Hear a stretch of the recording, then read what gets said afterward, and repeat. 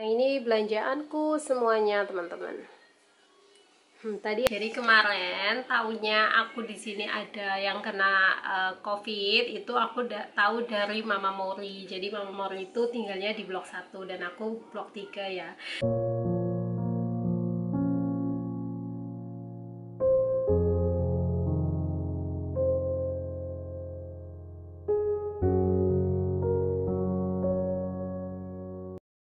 Assalamualaikum teman-teman semuanya. Selamat sore. Jadi mungkin kalian sudah baca berita tentang Hong Kong ya? Why? But because because I don't have I, I have nothing at home. Even eggs I also don't have. Daddy and mommy also busy Genevieve mungkin beritanya sudah uh, ya mungkin uh, beritanya nggak tahu sampai ke Indonesia atau enggak cuma di Hong Kong memang keadaannya lagi sangat ini sih teman-teman lagi uh, agak sedikit parah ya untuk COVID. Ya. Ya dan kemudian di di tempat kita di uh, blok kita di apartemen kita ada yang kena satu. Dan alhamdulillah jangan sampai ya mudah-mudahan ya. Kalau misalnya yang kena ada dua orang itu nanti kita diisolasi di dalam gedung nggak boleh ke mana-mana teman-teman. Tapi kemarin kayaknya kemarin itu kedeteksi yang kena cuma satu. Mudah-mudahan nggak nyebar ke mana-mana sih. Dan ini kenapa aku keluar? Sebetulnya karena aku udah nggak punya bahan makanan kayak sayuran telur itu sudah habis daging juga sudah habis teman-teman. Jadi nanti aku mau beli uh, sedikit bahan makanan. Takutnya nanti beberapa hari ke depan kita nggak tahu. Dan uh, ya harus persediaan makanan sih karena dia suka makan. Iya dul dan sekarang perkumpulan itu dibatasi cuma uh, maksimal itu dua orang teman-teman. Tidak boleh lebih. Jadi kalau misalnya kita makan mejanya itu cuma bisa untuk uh, dua orang sepasang sepasang kayak gitu. Kalau misalnya kita makan empat orang berarti mejanya itu diskat kayak gitu teman-teman nggak tahu lah ini virus ini sampai kapan ya. Dan ini aku mau beli bahan makanannya di supermarket aja teman-teman. Kayaknya nggak ke pasar karena uh, agak rawan juga sih karena di pasar yang mungkin kalian lihat videoku yang aku ini ya belanja di salah satu pasar di daerah namanya Leon. Aduh di situ tuh kemarin sudah kedeteksi 43 orang teman-teman di situ di daerah situ ya aku nggak berani ke pasar makanya. Nanti kita masuk ke supermarket aja untuk beli beberapa kayak telur daging ikan mungkin sama ya pokoknya uh, yang simpel-simpel aja dulu kita beli oke? Okay? let's go. Let's go. Here Genevieve. Here here here. Hey this way. Eggs. We gonna find find some eggs. Ya Allah ini bahan makanan masa habis semua sih Tuh, Masya Allah. Ini diborong semua, teman-teman. Apa sayang?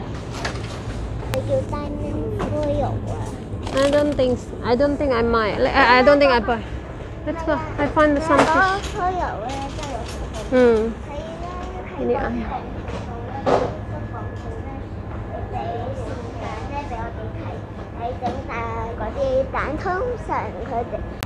Ini biasanya di sini banyak bebek, teman-teman. Nggak ada habis semua diborong tuh. No, I aduh. Ini juga SS-an. Kayaknya semua itu, masya Allah, habis teman-teman. habis ya diborongin semua ya. Is your toothbrush? No, there's no. There is only baby toothbrush. okay, go. Cornet. Okay, let's go. Kay China, hanga, hanga, hanga. Bucecet, cerewet nemen. Aku udah selesai belanja teman-teman. Ternyata bahan-bahan yang lainnya nggak ada. Jadi mau nggak mau kita harus ke pasar ya. This one? This one? Tim mai à, Lý con. Tán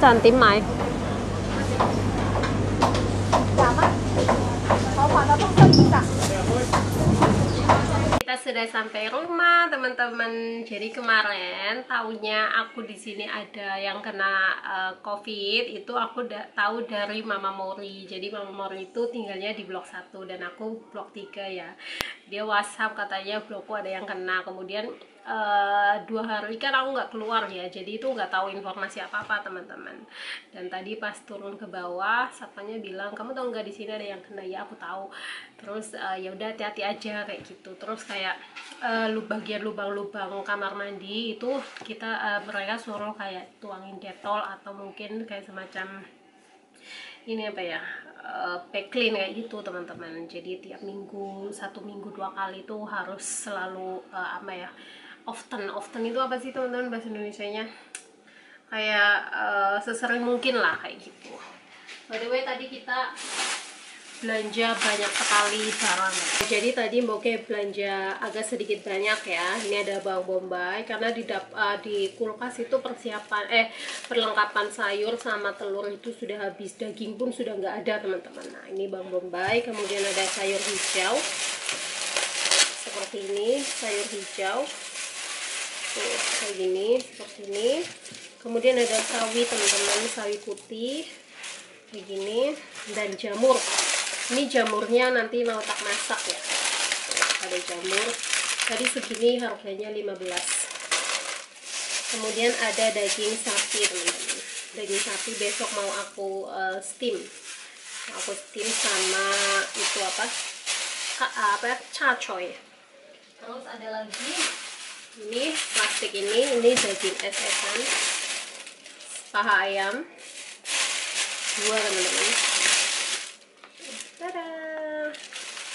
Kemudian sosis. Sosisnya Genevieve ya. Kemudian ada lagi. Aduh aduh aduh agak banyak sih karena untuk takutnya itu uh, sebelum zalik ya. Jangan sampai satu gedung itu di lockdown tapi ya kita persiapan kemudian ada aku beli mie teman-teman. Mie rebus ya. Kemudian ada kemudian ada telur. Ini habis satu pun gak ada di kulkas. Kemudian aku beli roti teman-teman. Ini rotinya enak banget sih kalau menurutku ya. Dan ini aku beli untuk bikin nasi ayam. Jadi nanti ayamnya kita pakai paha ini oke? Okay? kemudian aku beli ini saus korea teman-teman untuk marinasi sapi ya tuh ini. Oke nah aku kasih lihat ke kalian belanjaanku hari ini. Apalagi oh iya kornet kornet sapi. Nih. Nah ini belanjaanku semuanya teman-teman. Hmm, tadi habisnya berapa ya? 200 lebih ya? Iya 200 lebih teman-teman 200 dolar ya. Indonesia nya hampir 500 ribu segini teman-teman. Tada! Kita simpan di kulkas. Untuk telur biasanya aku taruh di atas ya. Ini. Dan karena besok ini daging sapinya mau tak bikin uh, mau tak masak jadi aku taruh di kulkas atas. Begini kemudian sayur. Sayur juga di kulkas atas masukin lagi ke plastik. Aku kalau nyimpen sayur pakai plastik sih teman-teman. Nggak pakai koran atau pakai kertas itu enggak selalunya pakai plastik. Dan kalau misalnya suhunya pas itu awet kok. Ini aku taruh kulkas di bagian sayurnya. Ini aku masih punya bawang bombay itu. Nanti aku pakai.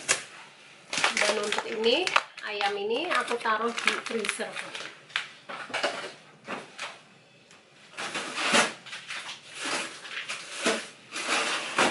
sosis juga aku taruh freezer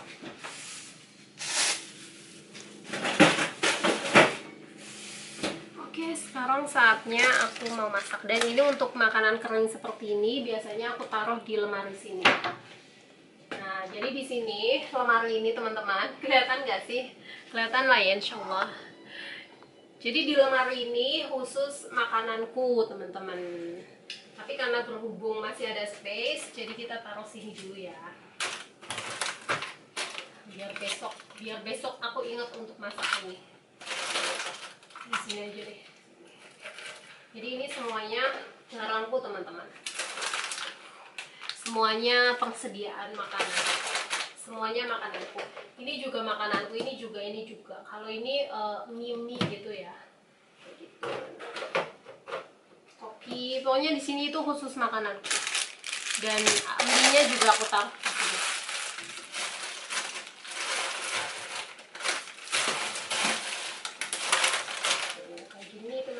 Jadi majikanku tahu kalau aku suka belanja makanya itu aku dikasih tempat buat khusus untuk naruh makananku. Sama uh, di sebelah situ sebenarnya ada juga satu uh, khusus untuk tempat naruh barang atau tempat peralatan bakingku teman-teman. Karena majikanku juga tahu aku suka bikin kue dan jajanan-jajanan kayak gitu. Jadi di belakang pintu itu uh, ada space untuk tempatku naruh alat-alat bakingku kayak gitu. Oke? okay?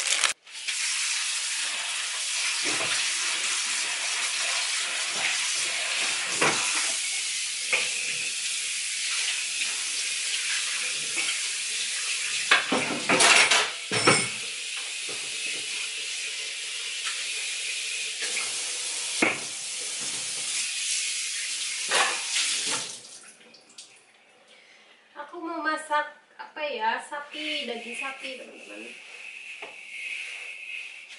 sayur ini si Indian lettuce ini biasanya aku masak atau aku chow atau apa sih bahasa Indonesia nya tumis menggunakan ikan ini teman-teman. Ini namanya fried rice with salt black beans. Jadi bumbunya cuma pakai bawang putih bawang putihnya kita tumis kemudian ini masuk dan kemudian kita masukkan si Indian lettuce nya ini dan sudah itu enak banget teman-teman biasanya sebelum sebelum tak masak dengan sapi aku tumis dulu jamurnya supaya itu airnya nggak terlalu banyak ya. Terserah kalian nggak apa-apa nggak harus. Cuma aku kayak kayak gini sih cara aku ya sebelum aku masak jamur dengan daging. Karena jamur itu mengandung banyak sekali air